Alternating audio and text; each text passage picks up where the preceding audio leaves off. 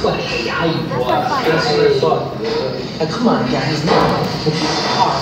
Could be a major piece of machinery, you know that? Now look at this. Wow, this car is automatic. It's systematic.